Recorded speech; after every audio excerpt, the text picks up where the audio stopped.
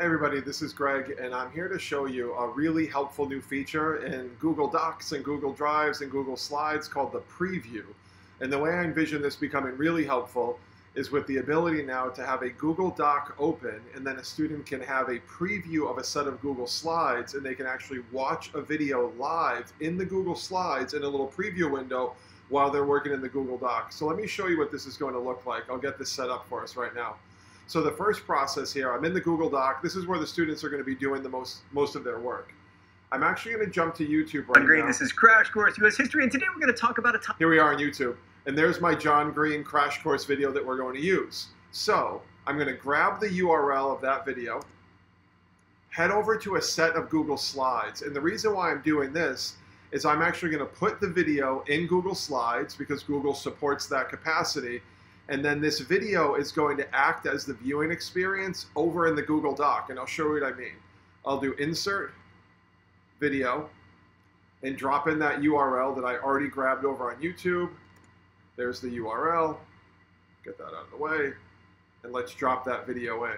So now that video is going to add into the Google Slides.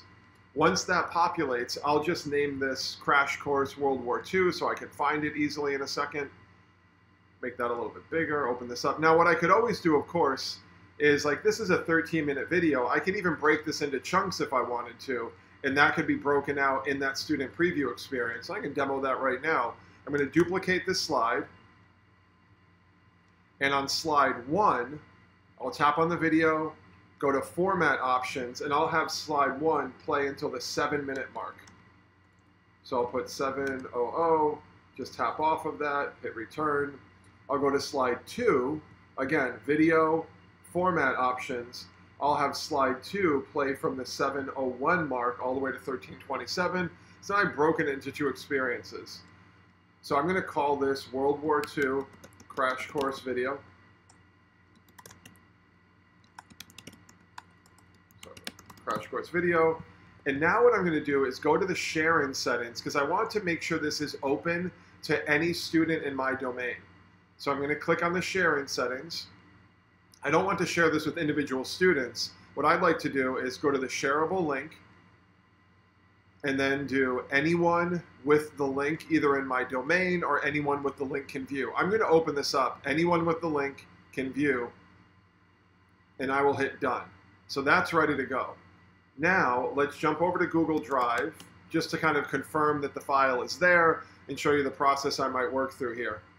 So I'm just going to go to recent in my Google Drive account, wait for that to load, and I'm going to grab the shareable link. And I could have grabbed this before. Let's grab it right now just to show you how we can get it in Google Drive as well. So there's my crash course video. I'll go to the link sharing option in Google Drive, wait for that to load, and I've already changed the sharing settings, so this is going to be ready to load for me. And I will just copy this link. So that's been copied. Now let's go to the Google Doc where we might have the students working through a guided activity or an exploration in, about World War II. But here's where I could have, um, these could be, oops, I didn't want them up there. So let's do it in the body of the document. I might have some guiding questions. There might be a little bit of structure that I'm providing for the students to work through it. I might have um, ideas that I want them to reflect on, ideas to reflect. So I could have all kinds of stuff here. But here's the great part. On the very top of this, I'm going to put click here to view World War II crash course video. I'm going to highlight that text, go to the linking tool, and insert a link to that set of Google Slides that I just made and hit apply. And now with this update to Google Docs, if I tap on that link, I'll get a drop-down menu with a little preview button and watch what happens. It drops down into the corner. The student can even expand the view a little bit, so I'll make this a little bit bigger. And what I'm able to do now is watch that video embedded in my Google Doc. I'll simply click on play. Hi, I'm John Green. There this is go. Crash Course U.S. History, and today we're going to talk. Let's turn John down a little bit. That we can So now while I'm watching, notice I can still edit the document itself while the video is playing back. So War II. World War II live is gonna be edits of my notes. That has like its own cable channel. Well, I should say. So I'll pause that and maybe catch up. Here is my new idea. Hit play. and it just picks right back up where it was. Now, if I'm ready to move on to part two, maybe my teacher has this set up that says slide two, part two, and I can go, oh, I'm ready to advance. I'll advance to slide two, and notice when I click on slide two, wait for this to load, Because up to this point, Russians had been. notice how that picked right up at the seven second mark because that's the setting that I already dropped over into Google Slides when I imported this video. Now this whole process can also work in Google Slides. I'll show you that process as well. I'll jump to a new set of slides. I already have that link saved to my clipboard, so I'll do the same thing. I'll simply, I'll do it right on this landing page slide. I'll do click to open World War II video, embed the link. It's going to pop up in the corner as a preview.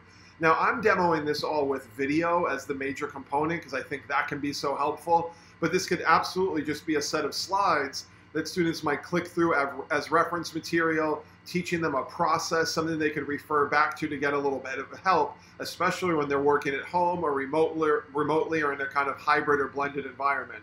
So I'll do the same thing here just to show you what it looks like. Click here for World War II. Not that. That's better. World War II video. Let me clean this up a little bit. Click here. So I'm going to take this text, same process, highlight the text, insert my hyperlink, drop in the link to my slides, which I've already saved, and hit apply. And remember, make those slides open to anyone in your domain. I'll hit World War II video. There's my little preview button, and watch what happens. It just drops into a preview window. So now I can jump to any set of slides that I want. And notice, I'm even adding a new slide on the fly, and my preview window stays there. I can make it bigger if I need to. I can shrink this down a little bit smaller if I don't need a ton of real estate. And I can play that video and then work in real time in my slides. Hi, I'm. John Green. This is Crash. So I won't know one of the things that is frustrating when you're working in slides with embedded video is if the video is in the slide, as soon as the student goes to take a note, the video resets. But now I have the ability in the slide. So that video is playing live right now. I'm editing the slides. Here are my notes. Put any idea that I want here. Work live in Google, but there John Green is still doing his World War II intro for Crash Course. So that's the process. I hope you found this to be helpful. It's using a link from a set of Google Slides in a Google Doc or in Google Slides to get a preview window where students can watch video live and work in that Google Doc or Google Slides environment. So good luck. I hope this process works out well for you.